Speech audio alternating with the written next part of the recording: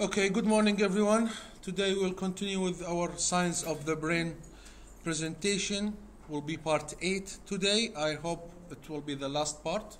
Maybe we'll finish a whole bunch of signs. And I think all appearances of the brain have been covered plus or minus. I hope. Okay, so let's continue. What do you think is going on? Oh, okay.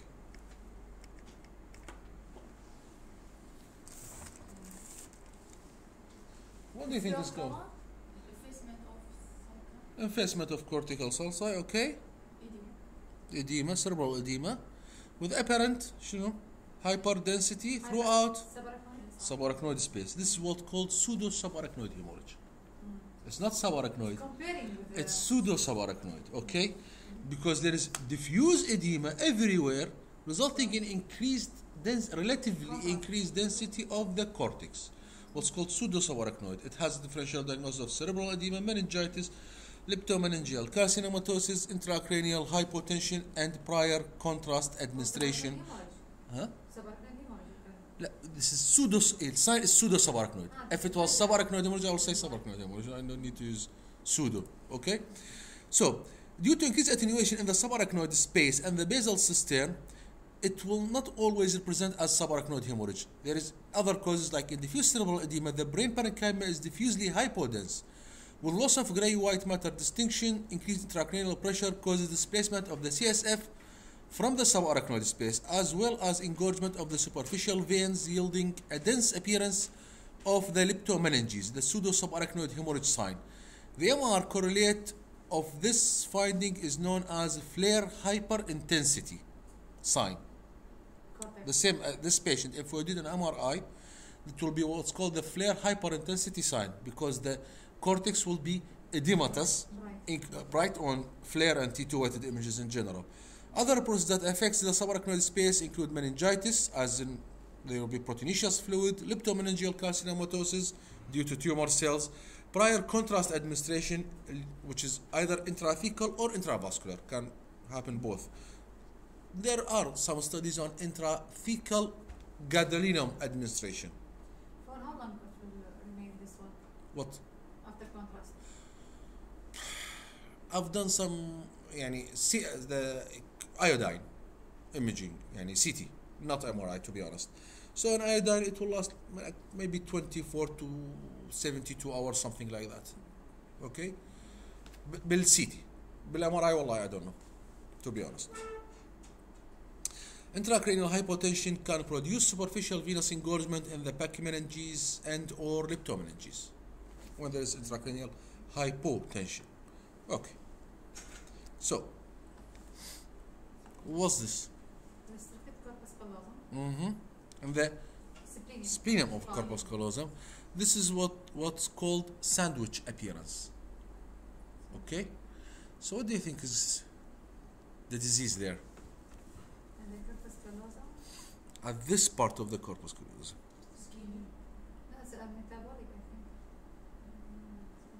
So you can see the ventral and dorsal layers of the corpus callosum are relatively preserved. Just the mid part is uh, restricted diffusion. This is uh, a sign of Marchiafava Bignami's disease, okay, which is typically occurring in chronic alcoholics with severe malnutrition, B complex deficiency resulting in degeneration of the corpus callosum, okay, which first involves the body, followed by the genu and the splenium. Other affected areas includes anterior and posterior commissures, corticospinal tracts, uh, uh, hemispheric white matter. On the MRI, the corpus callosum appears as T2 hyperintense, T1 hypointense, due to dege- degeneration, as usual. Preferential involvement of the central layer with relative sparing of the dorsal and ventral layers, creating the sandwich appearance. Okay, due to B-plex deficiency, due to severe malnutrition, usually in alcoholics. In the chronic phase, the region necrose and cavitate, and other processes that can affect the corpus callosum includes infarction, demyelination, trauma, in, in case of diffuse axonal injury also, demyelination MS, of course. However, these entities have this uh, different clinical presentation and do not typically produce the layered appearance, just all over hyperintense. Okay? Good. So, this is a region enhancing heterogeneous intraaxial and the, what's this? What, how describe this small nodule here? Satellite. Lesion. Excellent.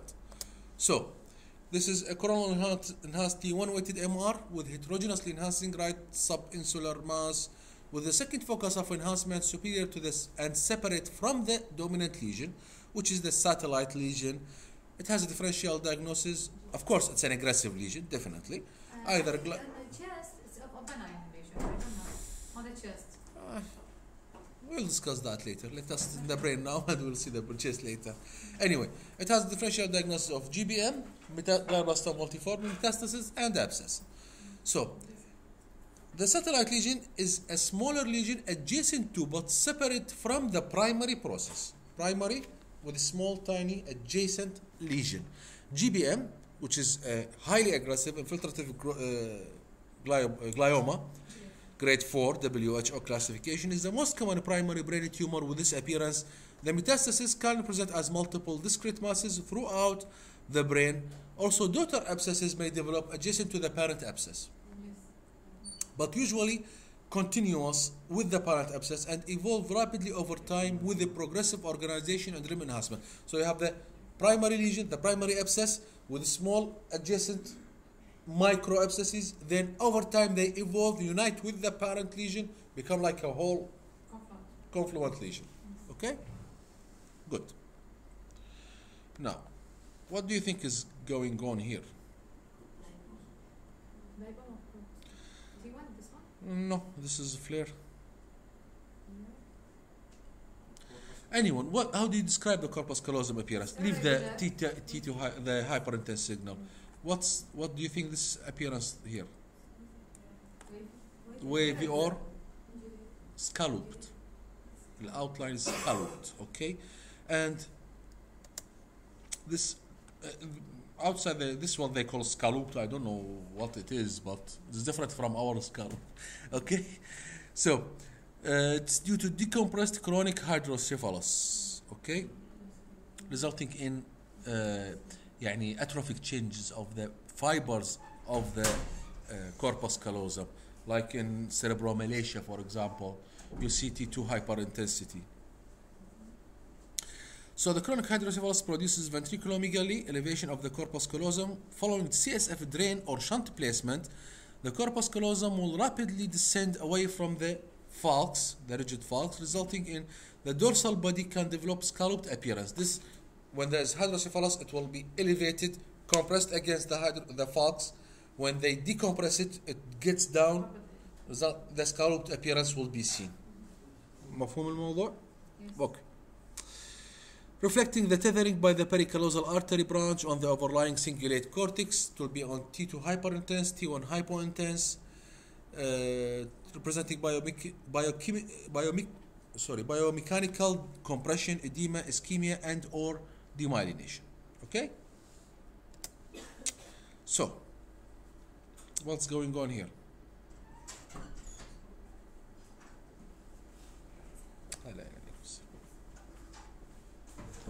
How do you describe this ventricle?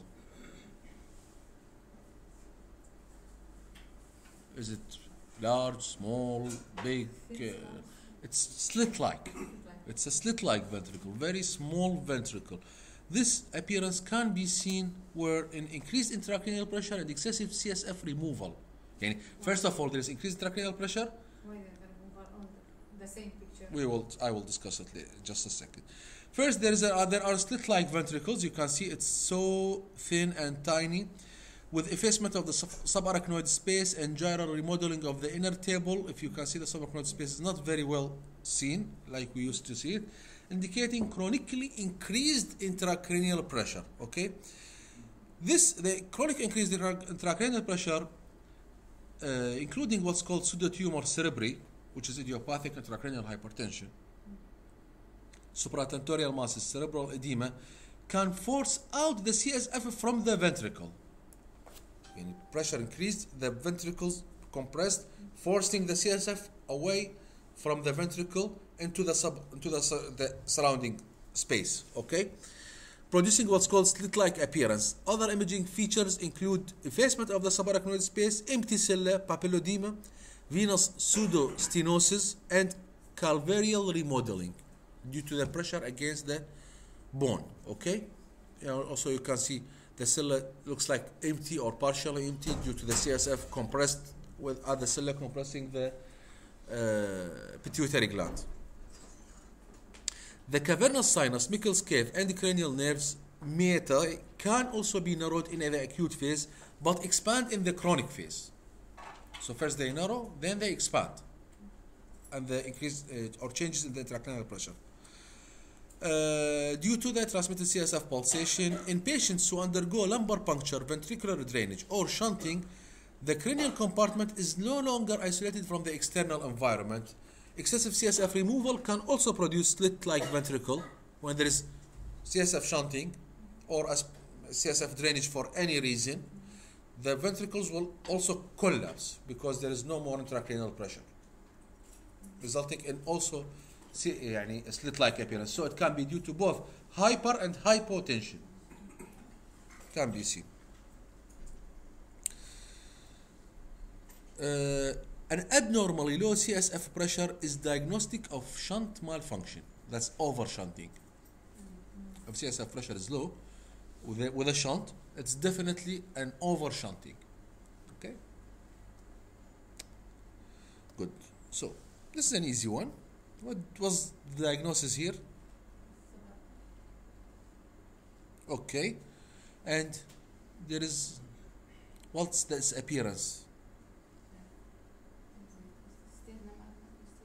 No, no, no. This here. What's going on here? Yeah, what does it look like? What do you think is there is some posterior fossa hemorrhage, let's say, causing mass effect, resulting in ascending transtentorial herniation. This is what's called spinning top or the square or triangle appearance. This is a spinning top, you know, ما أعرف يسموه المصرع the spinning top it looks like that okay the idea is that when there is there is diffuse cereb- cerebral and cerebellar edema with there will be upward transtentorial herniation not downward up okay Uh, with triangular appearance of the quadrigeminal plate cistern and compression of the posterolateral margin of the midbrain okay here in another patient at another level, there will be hemorrhagic edema of the cerebellar vermis with upward transtentorial herniation compressing the posterior lateral margin of the midbrain. Okay, this will uh, there will be the the square appearance. Yani they are both the same condition but at different levels. If you are up at the midbrain, you will have the square appearance. If you are a little bit down, you will be the spinning top or the triangle appearance. Okay, so uh, it's a response to increased intracranial pressure caused by hemorrhage, edema, and or mass lesion. How many types of herniation do we know? Five. Which are? The most common one is what? Subfalcine. Okay, it's a false herniation. Then we have the uncal herniation, transtentorial herniation, ascending and descending, exactly. Okay, and there is an external herniation that's transcalvarial. If there is a bony defect, brain will herniate through it. يعني craniotomy brain راح يطلع من عنده. We see it every now and then in post-surgical cases, okay? So, uh, transtentorial herniation refers to herniation across the tentorium cerebelli. It's either descending or ascending, according to the where the pressure is more. If it's supratentorial, it will be descending. If it is infratentorial, it will be ascending. Okay. Uh, descending will be, as we said, in sorry, what's going on? Uh, in increased supratentorial pressure, while uh, ascending will be due to increase in the pressure in the posterior fossa with the effacement of the quadrigeminal plate resulting in triangle or square appearance. Uh, also the compression of the posterior posterolateral midbrain which is the spinning top appearance. Cerebral, uh, cerebral herniation is an urgent imaging finding should be addressed with prompt correction of the underlying cause. Additional strategies for lowering intracranial pressure includes mannitol, ventriculostomy, and decompressive craniotomy. Okay? Now, اعتقد هاي يمكن part 1 What's the sign? What's the appearance? Star sign, star appearance, indicating, of course, subarachnoid hemorrhage. You can see there are hyperdense material within the suprasellar cistern, which is blood. The hyperdense material is blood. Okay.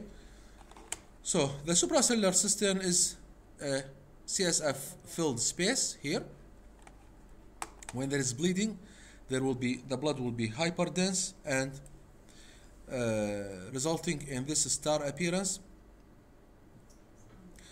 Um, uh, the suprasellar cistern contains the optic chiasm, pituitary infundibulum, and the circle of Willis, and the boundaries includes the interhemispheric fissure anteriorly, the un- uncus laterally, and the pons and cerebellar peduncles posteriorly. So it's either uh, a a five-pointed or a six-pointed star according to which level.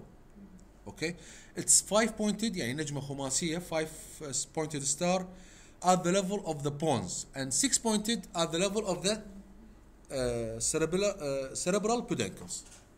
There will be two peduncles resulting in the six-pointed appearance. Apparent hyperdensity in the suprasellar cistern includes subarachnoid hemorrhage or it mimics, like diffuse cerebral edema, basilar meningitis, leptomeningeal carcinomatosis, prior contrast administration. Loss of the normal star appearance can occur in herniation, transtentorial herniation. The star will be changed. Okay? Good. كل شيء اوكي لحد الان؟ ان شاء How do you describe this appearance? Heterogeneous. طبعا this is CT scan showing heterogeneous axial. Okay. The posterior fossa and the left cerebral septum. Okay. So there's some sort of mass with heterogeneous appearance, some calcification. How would you describe this calcification? Variable uh, small round shape. It's look like uh, stippled point dots of calcification. It's not coarse. It's not like popcorn calcification. It's like not like it's just a scattered, stippled appearance. What do you think is going on? Or what's the differential diagnosis here? Dermoid, okay, and vascular malformation. Exactly, like uh, phleboliths, yani. Mm-hmm. What's going on? So this is stippled appearance showing multiple punctate calcification, calcific foci in the left cerebellar hemisphere and the vermis with differential diagnosis of dermoid, epidermoid, and vascular malformation. This punctate calcification usually indicates benign lesion and uh, can be also seen in some malignant brain lesions sometimes.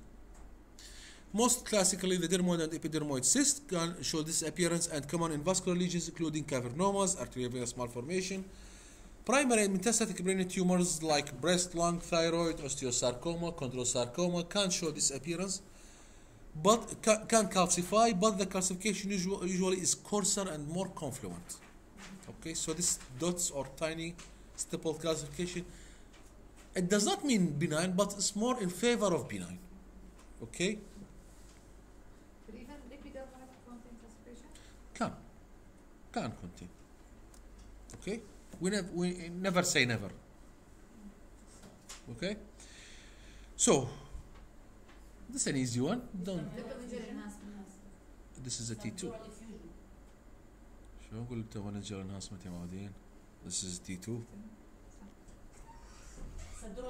Subdural effusion, exactly. There is subdural effusion, CSF surrounding the brain, and what uh, the causes are, as usual, intracranial hypotension, subdural empyema, hygroma, and hematoma at certain ages or stages. The intracranial hypotension is caused by idiopathic or degenerative or traumatic or iatrogenic etiologies. Dural tears in the brain or spine cause continuous CSF leak, resulting in CSF hypovolemia. As the pressure within the intracranial compartment decreases, the brain migrates inferiorly and distending the vein and the CSF spaces overlying the cerebral convexities. يعني just imagine dural tear in the spinal cord, for example, CSF leak, the brain will herniate inferiorly, migrate inferiorly, the, the CSF space around the cerebral convexities will get bigger, resulting in subdural effusion. Other types of, of uh, the subdural collection include empyema, hygroma, which is a CSF containing lesion, subdural hematomas contains blood. Clinical presentation and correlation with other MR sequences should enable the distinction of these various etiologies. يعني جاي واحد post traumatic post surgical which suspect effusion. جاي واحد مثلا uh, m- uh, with fever and something uh, and things like that. You suspect some sort of infection and history is always important. Okay.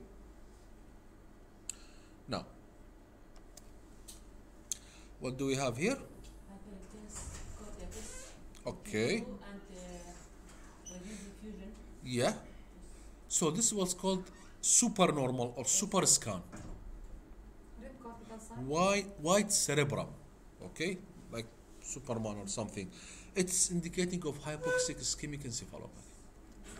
Like the cerebron sign, but infecting only the cortex which appears restricted on diffusion with images T2 hyperintense, uh, exaggerating the normal gray-white matter dis- distinctions. More distinct, the gray and white matter. In an adult patient, this is due to severe hypoxic ischemic encephalopathy with a globally reduced diffusion throughout the cortex, subcortical white matter also. The gray matter, which is eight times more metabolically active than the white matter, it needs oxygen eight times more than the white matter. The, so it will be much more susceptible to the injury and undergoes diffuse cortical laminar necrosis.